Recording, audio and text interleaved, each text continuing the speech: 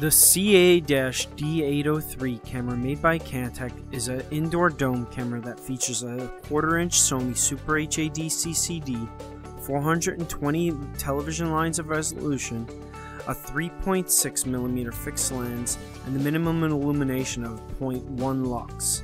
However, this camera is not recommended to be used in dark situations.